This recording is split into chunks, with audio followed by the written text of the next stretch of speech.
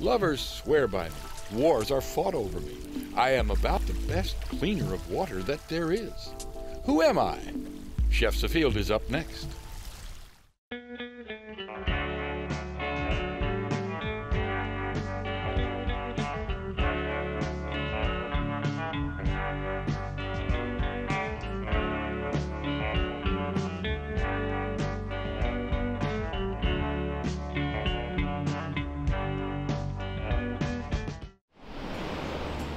It is easy to understand why Greg Atkinson is so thoroughly in love with this place, with the water, the mountains, the trees.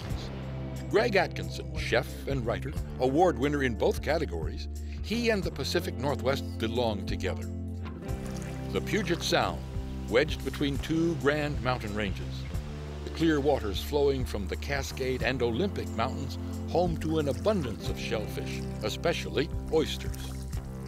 Chef Greg brought the seasonal tastes of the Northwest to life at Canlis, the celebrated Seattle restaurant. Now, in his other life, he is devoted to a school in the woods on nearby Bainbridge Island. Islandwood, a nonprofit educational experiment, brings city children out among the greenery into the sunshine, where it teaches sustainable growing, connection to the land, and the taste of good food right from the rich earth just a short ferry trip from Seattle. Coming to Islandwood for me was sort of a fruition and a completion of the work I had been doing at Canlis. It's not so much about the food as about what the food means. And so it brought me into kind of this opportunity to really instill those values about food into the minds of some very young people, a new group of young kids every week. Chef Atkinson's own books have recipes, sure, but it's the food essays, the journalism, and the graceful writings connecting food and place that win critical attention. What gets his attention on paper and in the kitchen? The mighty oyster. One thing I love about oysters, aside from how they look and taste and um, just make me feel, they're, each oyster is kind of like a little world in itself. Box, I think you get into a kitchen and you got so many things to manage. Here is Greg with Bill uh, Taylor, whose great grandfather lifted oysters out of this same bay in 1880. Over a century and a quarter, the family has built a business not just on shellfish, but on cleanliness, sustainability, keeping land and water free of pollution. Bill Taylor's family cultivates oysters and, more important, the algae they eat. Greg, this is our start room for our algae here. Oh, um, right. So the inner sanctum. The inner sanctum, yes. These uh, these algae are um, they're natural al algae, and they're a variety of different uh, species here. You nice see colors. You see this dark green and a, right. almost a magenta, and then different browns. The different algae supply different nutritional needs that you'll find at the different larval stages, and so when growing, I think there's probably about 10 to 12 different species of algae in here. These are all plants. Yes, these are these are so actually very small phytoplankton. Phytoplankton. They're very very small, several cells chained together. Very cool. Algae, the backbone of the food chain, microscopic marine photosynthesizers, one of the oldest creatures of the universe. The basic nutrition of virtually all sea animals. So each of the different colors provides a different nutrient? Right, they have different nutrients that are essential at different stages, stages for the larval development. Some of them are very, very small algae that the larvae can eat, and some are larger algae, but they've got a different nutrient component. So this one that's pale pink will eventually become such a dense colony that it'll be Absolutely, dark red it'll like look that. like that, right. And the light green will turn into dark green. That's, that's correct. As they're growing and getting more dense, more cells in there. And from uh, this, you'll move it into a big tank so you can right. get a whole bunch of it? We'll move those into the tanks that we saw out in the uh, main algae room. So you're really like an algae farmer? We're really an algae farm. That's the primary thing algae we farm. do here. One oyster might produce 500 million eggs. That's right, 500 million. You need a lot of food to feed that many critters. On to the broodstock, the best of the bunch oyster parents to be. It's not all algae. You are growing oysters here too, right? Right. This is actually our broodstock room here. And this is some of our broodstock here. These are some uh, oh yeah, oysters, that's a uh, Virginica oysters. Virginica. We'll bring some of the algae over here to feed these parents, basically. and they are fattened up and warmed up till they're ready to reproduce, and then they'll, they're spawned, and we'll take and put the uh, larvae from that spawn then into the large tanks in the larvae room. So you're going to prompt this thing to, to spawn by warming it up and feeding it. Right. The water in here is 70, 75 degrees. We'll basically simulate the conditions that are required to uh, make them spawn in the natural environment. 70, 70, it's kind of like a Hawaiian vacation form, a little That's right. land there. That's right. Extra food, extra warmth, Yep. little swim. Why don't they spawn right in the bay where they're going to live? They actually will spawn in the bay, but they only do it in very short periods of time in the uh, summertime. So you're trying to create like this eternal summer thing for That's- these guys in here. That's right. And have you managed to create those same conditions for human beings so that we're like always ready? I don't know if we can Or do the that. oyster's part of that? For oyster, yeah, oysters are definitely part of that. I hope. okay, good. The offspring develop in the safety of the tanks for several weeks until they are hardy enough to brave the bay. So as soon as those oysters got big enough to leave the hatchery, they came here. That's right. These bins or boxes are all full of oysters. They have a screen on the bottom, and the paddle wheel behind us here sucks water up through a channel and up through these bins, and the water exits a outlet in the top of the box. And the oysters feed on the algae that's being sucked up through them. We'll just take a look at some that just came here. And So some- they stayed at the hatchery for two or three months Two or three before mon- they came here. Whoa, it's like a panning for gold. right. Those are beautiful. So it grows probably a hundred times or, or more in the two to three months that they're here. So these will grow a hundred times larger. R- right before they're put onto the beach. In here is the uh, larger seed. This will be going out. Oh wow, way larger. Going out on the beach here. So these guys are basically off to college. This is the end of the road for them here. And um, let's. Why don't we go ahead and uh, take off here and let's go. Let's go see where they uh, grow on the beach. I'm all for it. Let's go shuck some. The tiny oysters are now off to their new home along the coast, to the muddy beaches that are so comforting to the bivalve. Throughout the Pacific Northwest, wealth trickles down the hillsides to the rivers, the bays, the sound. Wealth in minerals, nutrients. So this is where they grow up. Yeah, this is Totten Inlet. It's down in the south part of uh, Puget Sound, and this has been historically a very rich oystering area. Now these look like Pacifics, Let's like see- the ones we saw in there. yeah, these are actually. I think these are kumamotos. Oh, is that Kumamoto? Let's open a bag here. Here's a Taylor creation, an oyster bag made of recycled materials to protect young growing oysters from predators. Now tell me about the predators. Who, who have you got? Besides, I mean, and- Well, the crabs are one major predator. Another predator that more people are familiar with is a starfish. oh, it looks like you got some uh, volunteer mussels on there. Yeah, there's there's all mussels kinds and of barnacles. right. So it's clearly uh, shellfish heaven. These are some kumamotos here. They're looks like they're about ready to be harvested. And these are my favorite, just like raw on the beach kind. Well, next to maybe that native Olympia. The So you got that little abductor muscle cut, yep. and it's ready to go. Mmm. You can taste the seawater, but there's also that sweetness of the, The, glycogen in them, right. in the The, meat.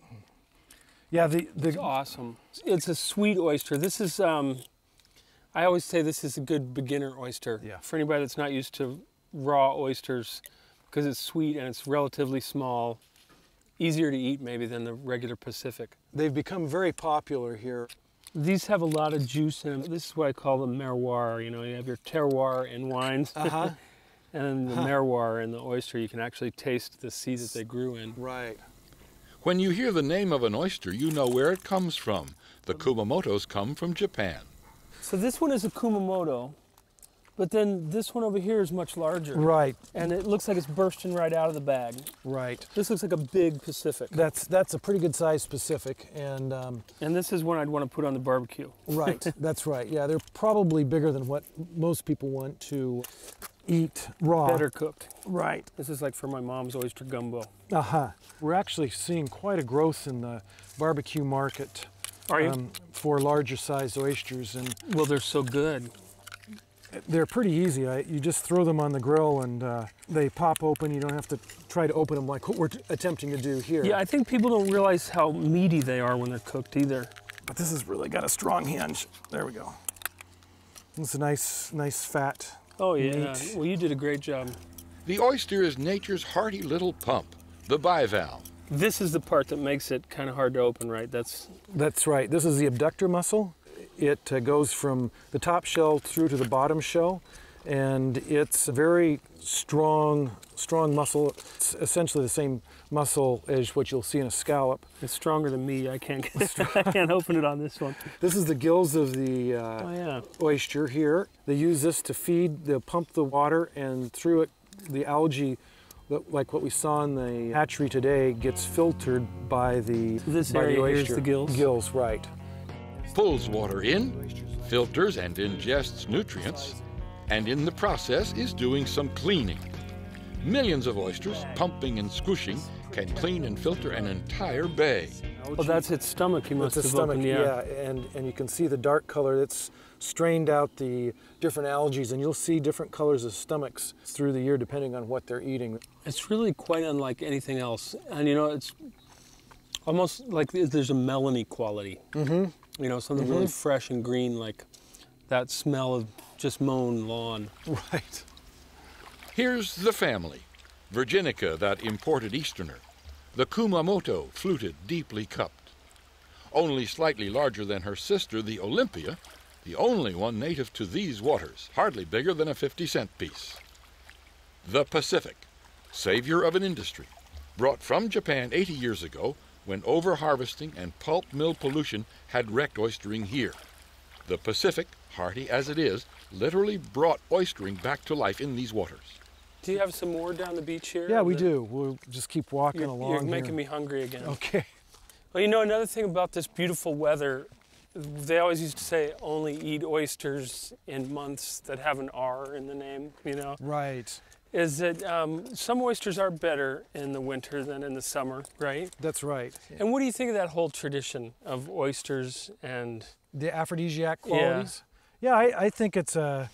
Um, I think that there's probably more than just a myth there.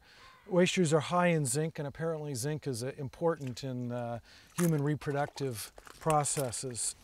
yeah, I think it's no coincidence that Venus is often portrayed on the half shell, Right. coming right. out of a shell.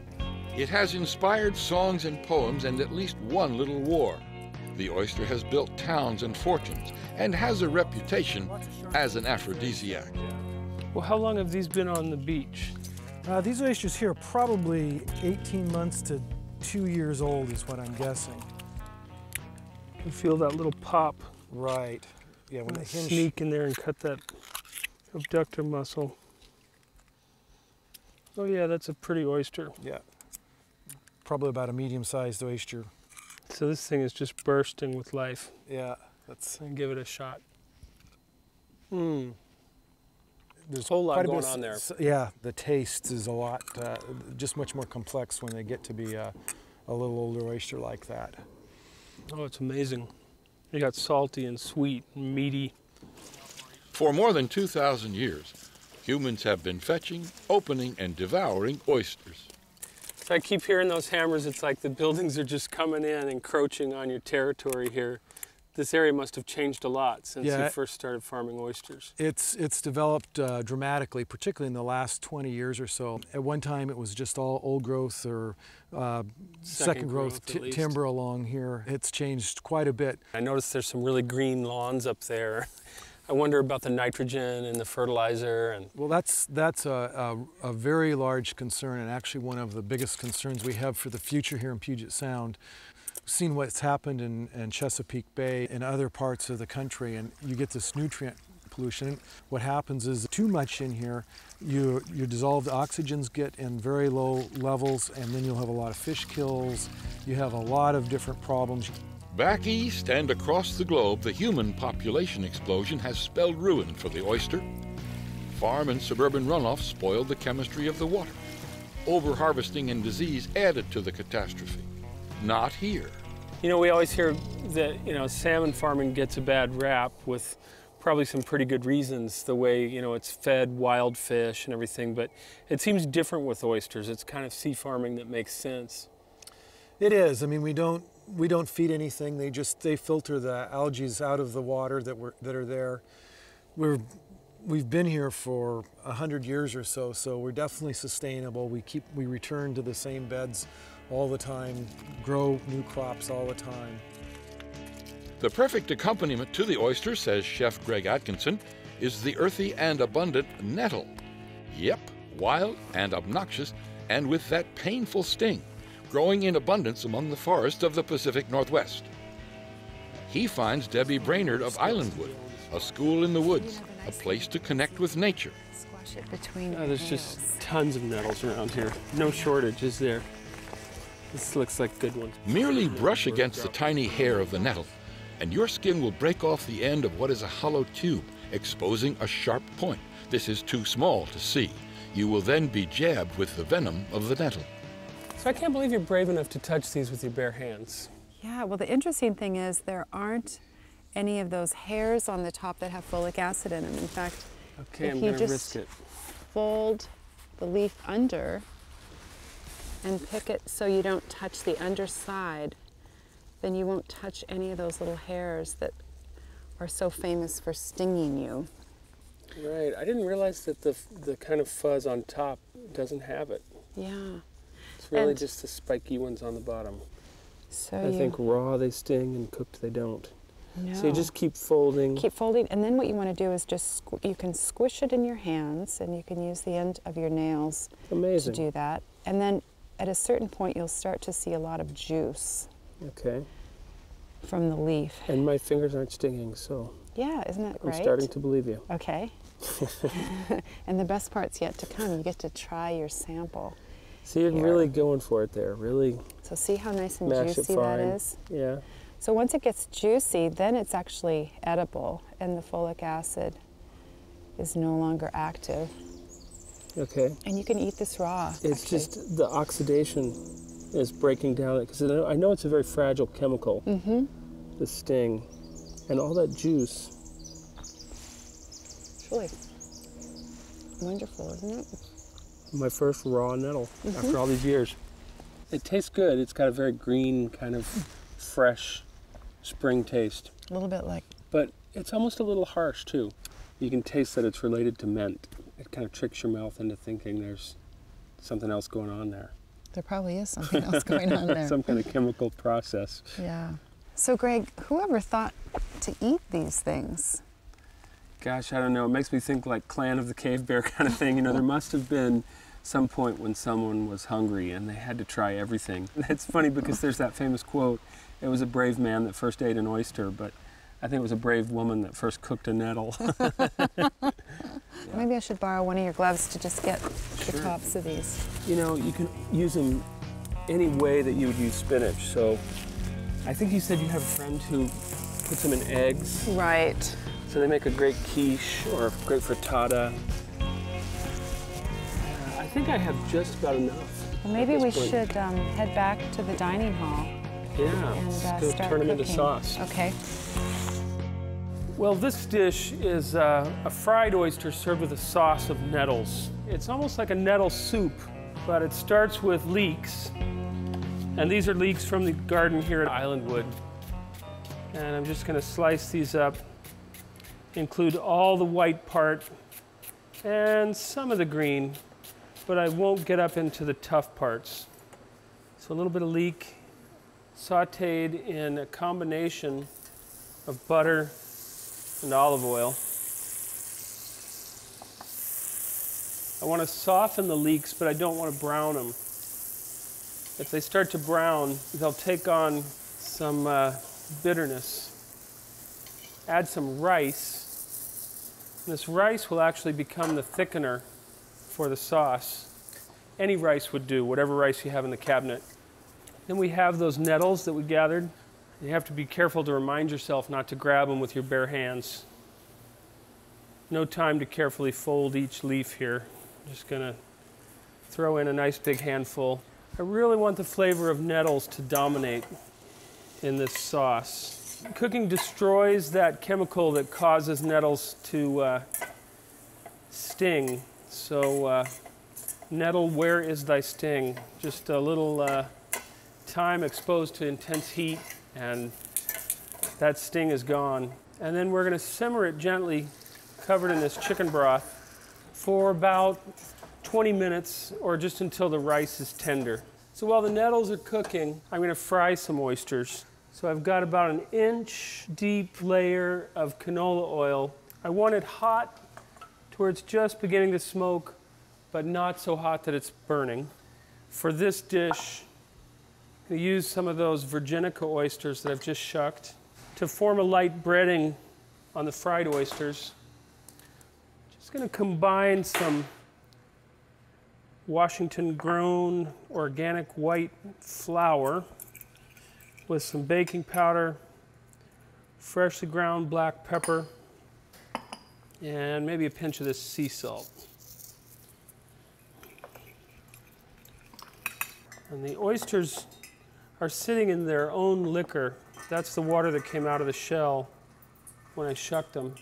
Toss them in that flour, and the combination of the oyster liquor and the flour forms almost a batter like coating next to the oyster.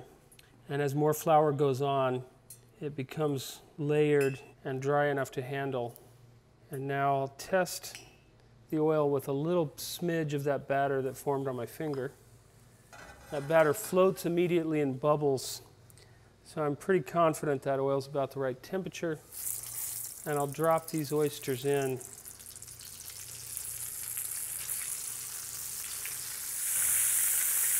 give them one turn.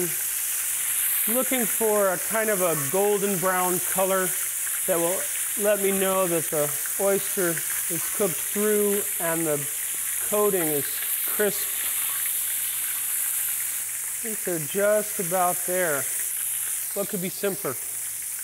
Nice fried oysters. I think the nettles should be tender by now, and I think this is ready to puree. It's best to blend this in small batches so that it doesn't come up out of the blender. Going to be a little noisy. To puree until everything's perfectly smooth. Looking for a uniform green color. So we've got a nice spring green sauce there, almost a soup. You really get a sense of uh, forest in the springtime there. So I'm to put about three of these fried oysters right on top of that sauce. And that is ready to serve. So this is a puree of nettles with fried oysters on top. Every time we come to the table, we come back together. It's a way of connecting with the world and feeling like you're a, a part of something bigger. And food is that connecting link.